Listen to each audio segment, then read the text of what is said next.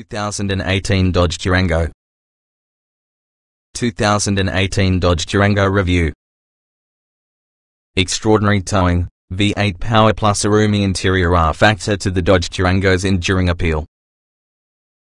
4-star overall score Dodge does things slightly differently using automakers. While others make anonymous four-cylinder family sedans, Dodge provides Charger, a substantial family sedan inspired by muscle cars in the past and powered using a V6 or possibly a choice of three V8 engines. And in a time when car companies refresh crossover SUVs with the speed of midterm election cycles, Dodge persists with an aging but proven formula for that 2018 Dodge Durango. If the Durango looks familiar, like you've seen this current generation traveling since the 2011 model year, that's a very long time compared to a variety of its fresh arrivals, but Dodge has kept this three-row crossover relevant. That include with a significant update for 2014 that added a satisfying 8-speed automatic transmission and also a revised interior with Chrysler's excellent 8.4-inch touchscreen.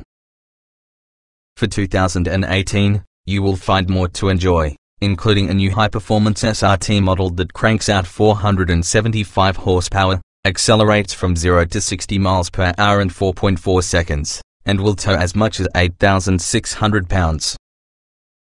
No other non-luxury automaker offers anything enjoy it. The Durango's fundamentals, including extraordinary towing capacity, available V8 power and adult size space inside third row, are factor to its enduring appeal. And as probably the most muscular vehicles rolling around in its class, the Durango is usually one with the heaviest. That takes a toll on real-world fuel economy which enables it to also result in the V6 engine feel anemic on occasion. It also bolsters the argument for selecting the exuberant V8, gas bills notwithstanding. If you will discover a powertrain to suit your needs, whether a V6 or possibly a V6, there's a lot to adore. Even as of this advanced stage in their life cycle, the Durango remains the most capable and well-rounded three-row crossovers you should buy. Notably, we picked the 2018 Dodge Durango as one of best midsize SUVs due to this year. What's new? For 2018, the Dodge Durango SRT debuts, offering a 475 horsepower V8 engine.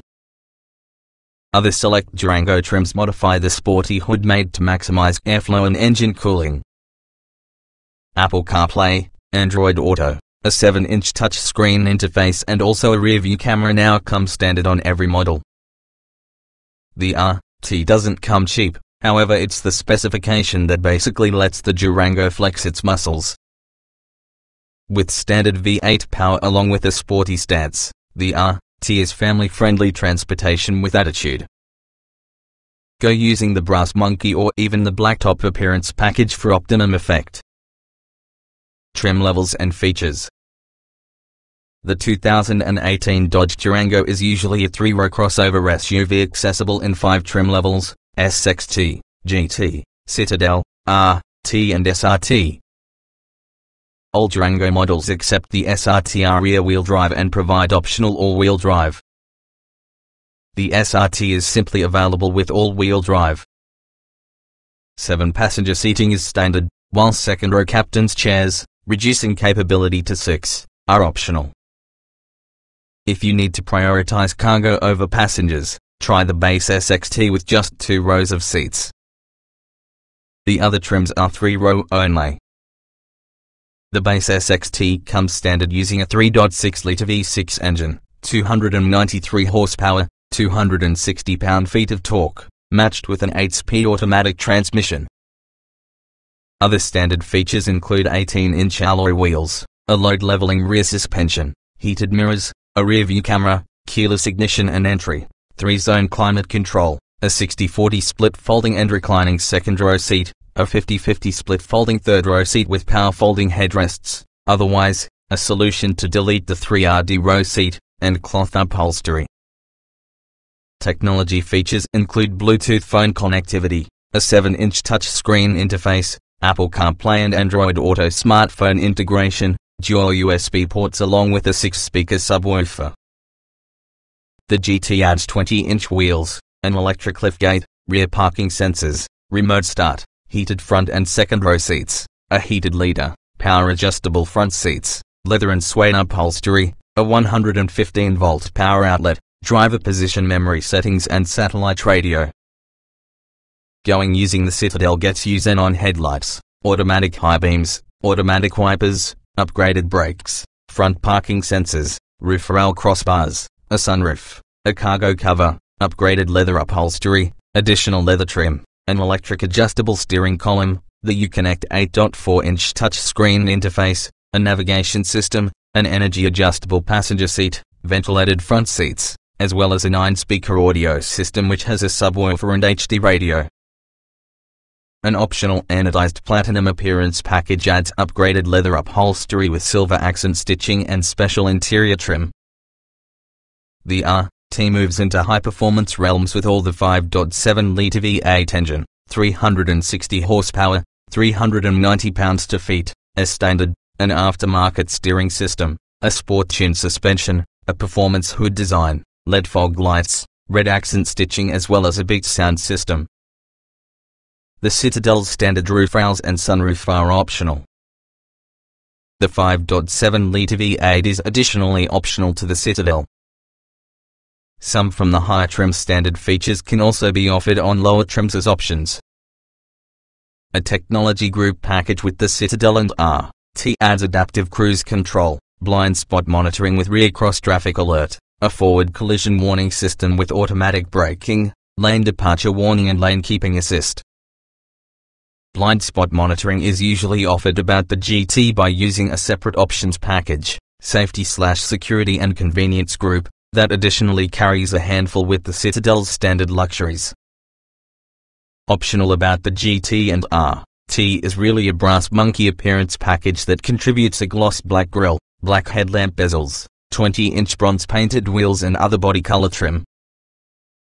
An optional blacktop appearance package, also with the GT and RT, is analogous and fits the Durango with 20-inch, black painted wheels plus a variety of blackout exterior trim items.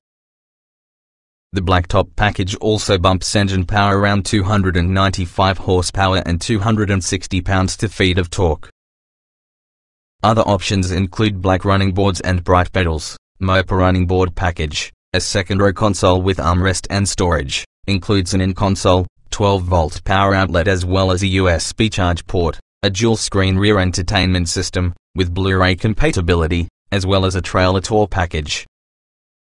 Finally, the newest SRT trim level tops it off which has a 6.4-litre V8 engine, 475 horsepower, 470 pounds-to-feet, performance-tuned steering, an adaptive suspension, electronically controlled limited slip differential, SRT performance pages, various configurable performance parameters, as well as a driver's session for the SRT Track Experience School of Motoring.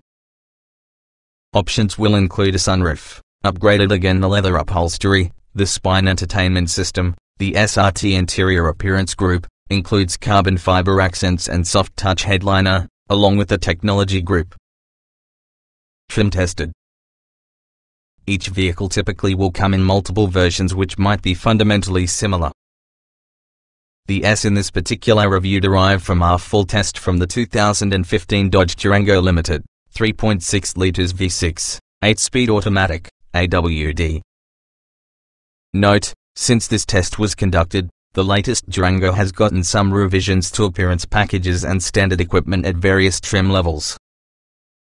Our test Durango's limited trim is comparable to today's GT.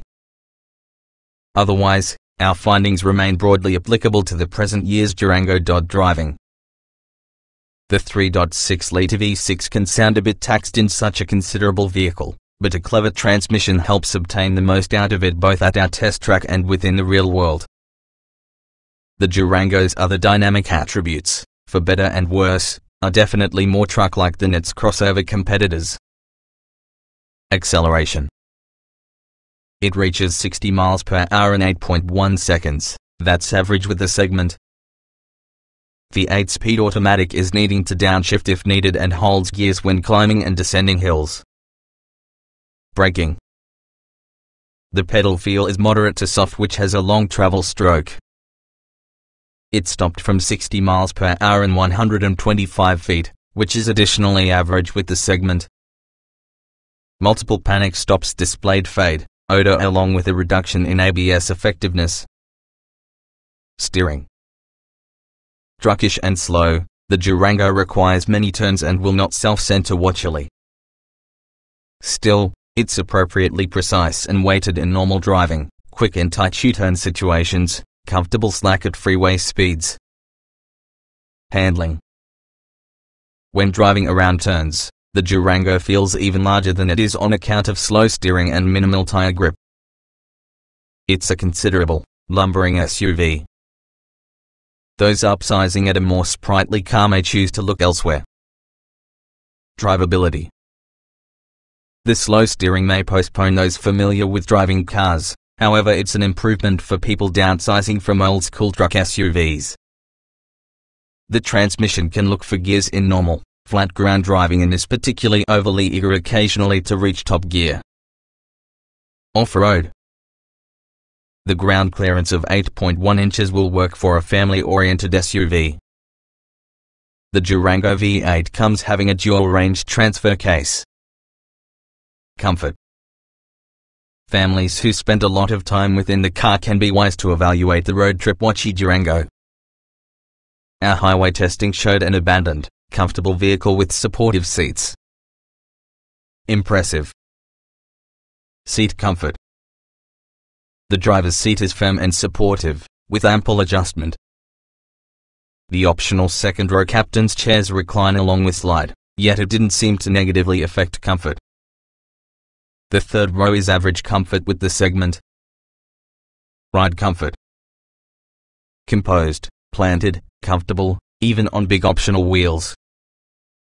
Those who appreciate a large, heavy feel of the truck will feel right at your home, albeit with no uncouth jiggling and occasionally harsh ride motions. Noise and vibration. Louder at full throttle than some competitors, but quieter when cruising, with nicely quelled road and wind noise. A nice, peaceful destination for a enjoy a family journey. Interior. Some competitors may offer seat belts for 8, that is really a token provision. In reality, the Durango offers more useful passenger space, a less confining view out plus an easier methods of getting inside. Dodge's user-friendly tech interface is an additional benefit. Ease of usage. As always, Dodge's large Uconnect touchscreen, optional, is really a benchmark for user-friendliness with large virtual buttons, logical menus and helpful secondary physical controls. Everything is easy to succeed in. Getting in, getting out. The rear doors that open nearly 90 degrees are superior to most. The flip and fold second row makes use of the third row also a lot better than most, while there is the typical high step up versus a minivan.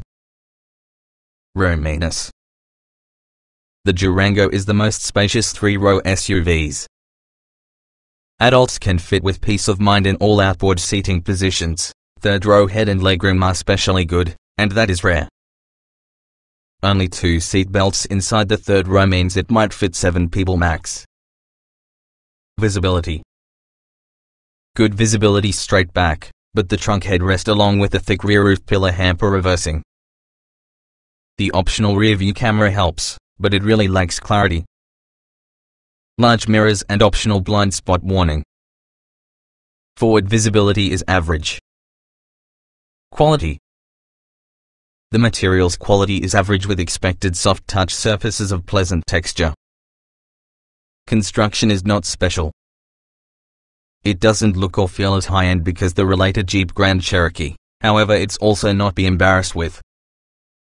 Utility with maximum cargo space that will fit that of all even so the largest SUVs, a good fold flat front passenger seat, plus the highest tow s among its rivals, the Durango is exceptionally well-rounded in relation to overall utility. Cargo space Durango's 84.5 cubic feet of max space is on par with most rivals. Space behind the third row is wide and deep enough for a considerable golf bag. The movable cargo cover can be a nice feature. Typical bins in advance. Towing. The V6 powered Durango can tow up to 6,200 pounds, which can be more than most rivals can manage.